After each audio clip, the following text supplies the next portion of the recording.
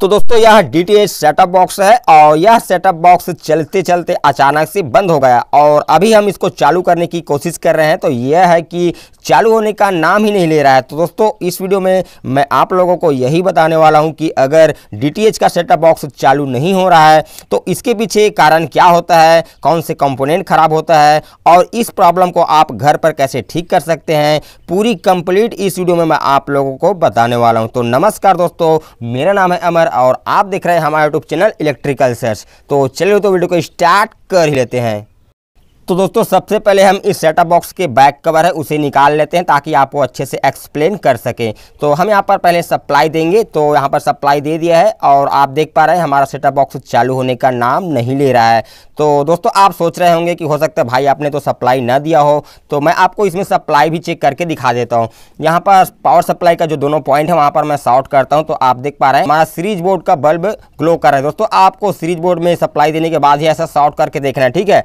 तो यहाँ पर सप्लाई आ रहा है और इसका सप्लाई जो वोल्टेज है डीसी वोल्टेज वो मदरबोर्ड में जा रहा है। मगर हमारा जो सेटअप बॉक्स है कि चालू होने का नाम नहीं ले रहा है। तो दोस्तों, मैं आपको बता दूँ कि इसका जो प्रॉब्लम होता है, वह पावर सप्लाई से होता है। दोस्तों पावर सप्लाई में कई तरह का वोल्टेज आता है, जिसमें का तीन दशमलव तीन वोल्ट ऐसा वोल्ट है। अगर तीन दशमलव तीन वोल्ट हमारे मदरबोर्ड को ना मिले तो हमारा सेटअप बॉक्स चालू नहीं होता। तो हम यहाँ पर इसका जो चार कोनों में लॉक लगा हो, उसको निकाल कर इस पावर सप्लाई को पहले बाहर निकालेंगे और उसके बाद आपको एक्सप्लेन करेंगे। तो दोस्तों, हमने यहाँ पर पावर सप्लाई को बाहर निकाल दिया है। अब जैसे कि मैंने आपको बताया कि इसमें वोल्टेज प्रॉपर तरीके से नहीं आता तो हमारा सेटअप बॉक्स ऑन नहीं होता। तो मैं आपको पहले वोल्टेज के बारे में बता दूँ। कुछ जो पहला वाला पिन होता है, वह पाँच वोल्ट का होता है, दूसरा वाला पिन ग्राउंड का होता है, तीसरा वाला पिन चौबीस वोल्ट के लिए होता है और चौथा वाला पिन बारह वोल्ट के लिए होता है, पाँचवा ग्राउंड होता है, और छठा होता है तीन दशमलव तीन वोल्ट का।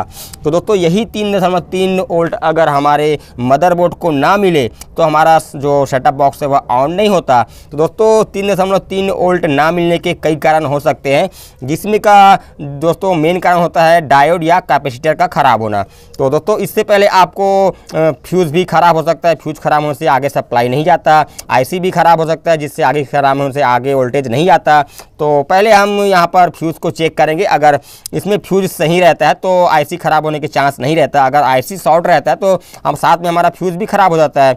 तो आप यहाँ पर देख सकते हैं, ये जो कैपेसिटर ऊपर से फूला हुआ आपको दिखाई दे रहा होगा। दोस्तों, ये जो कैपेसिटर है, वो अधिकतर ख़राब हो जाता है। ये जो दस वोल्ट का, एक हज़ार का होता है तो दोस्तों, यह ख़राब है। इसे कंफर्म करने के लिए हम बाकी का जो कंपोनेंट है, उसे चेक करके पहले कंफर्म कर लेते हैं। अगर बाकी का कंपोनेंट सही रहता है तो ये जो कैपेसिटर जो कि फुला हुआ लग रहा है, उसको हम चेंज करेंगे तो इसका प्रॉब्लम सॉल्व हो जाएगा।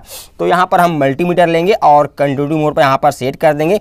तो सर्वप्रथम क्या करेंगे, हम इसका जो यहाँ पर फ्यूज़ लगा हुआ है, उसे यहाँ से चेक करेंगे। अगर फ्यूज़ सही रहता है तो हम आगे का कंपोनेंट चेक करेंगे, यहाँ पर फ्यूज़ सही है। तो इसके बाद हम क्या करेंगे दोस्तों इसका जो डीसी सेक्शन में है ना, यहाँ पर जो डायोड लगा हुआ है, उसको आपको सारे डायोड को चेक करना है। दोस्तों, मैं आपको बता दूँ कि जो डायोड होता है ना, वह एक साइड से कंडूटी बताता है। अगर डायोड दोनों साइड से रीडिंग शो करता है या शॉर्टेज बताता है तो उस कंडीशन में डायोड ख़राब माना जाता है। तो हम यहाँ पर सारे डायोड को चेक कर रहे हैं, सारे डायोड सही हैं। दोस्तों, आपको एक साइड से कंडूटी नहीं बताया तो आपको प्रॉप चेंज करके कंडूटी चेक कर लेना है इस तरह से। तो हमने यहाँ पर सारे डायोड को चेक कर लिया है, सारे डायोड सही हैं। अब हमने यहाँ पर फ्यूज़ को भी चेक किया, सही है। डायोड को भी चेक किया, सही है। तो दोस्तों, हमें जो डाउट लग रहा था यहाँ पर, जो कैपेसिटर 10 वोल्ट का, जो कि फुला हुआ है, वह ख़राब हो चुका है। जिस कारण से इसमें वोल्टेज प्रॉपर तरीके से नहीं जा रहा है। दोस्तों, मैं आपको बता दूँ कि पावर सप्लाई में अधिकतर फॉल्ट डायोड में आता है या इस कैपेसिटर में आता है। तो हम क्या करेंगे, ये जो 10 वोल्ट का कैपेसिटर है, उसे यहाँ से निकाल लेंगे और यहाँ पर दूसरा कैपेसिटर लगाएँगे, जिससे कि वोल्टेज हमें प्रॉपर तरीके से मिलने लग जाएगा। यह 1000 हज़ार यू एफ़ दस वोल्ट का है तो हमारे पास कोई दूसरा पावर सप्लाई जो कि ख़राब हो चुका है और उसमें इस तरह का यहाँ पर कैपेसिटर आप देख सकते हैं, इसको हम निकाल लेते हैं। तो यह भी एक हज़ार यू एफ़ दस वोल्ट का है तो इसको आपको प्लस माइनस देख कर लगाना है, जो तीर का निशान होता है कैपेसिटर में, वह माइनस का होता है और इसमें आप देख सकते हैं, यहाँ पर ब्लैक वाइट वाला जो पॉइंट होता है, वह माइनस का होता है। तो आपको प्लस माइनस देख कर सही डायरेक्शन में ही लगाना है तो चलिए हम यहाँ पर इसको सोल्डिंग आया की मदद से यहाँ पर सोल्डिंग कर लेते हैं। तो दोस्तों, इस तरह से हमने यहाँ पर जो कैपेसिटर है ना, उसे हम लगा दिए हैं। अब इसके बाद हमें क्या करना है? ये जो पावर सप्लाई उसे हमें अपने सेटअप बॉक्स में कनेक्शन कर देना है, उसके बाद आपको चालू करके दिखाते हैं। तो हमने यहाँ पर सप्लाई दे दिया है, अब इसको ऑन करने की बारी है। तो चलिए हम देखते हैं कि ये जो चालू होने का नाम नहीं ले रहा था, वह चालू यहाँ पर हो चुका है। तो दोस्तों, इस तरह से आप अपने जो सेटअप बॉक्स है, अगर चालू नहीं हो रहा है तो जो तरीका मैंने आपको बताया, उस तरीके से इस प्रॉब्लम को सॉल्व कर सकते हैं। तो दोस्तों, अगर आपको कोई सलाह और सुझाव है आपके पास तो आप कमेंट करके बता सकते हैं।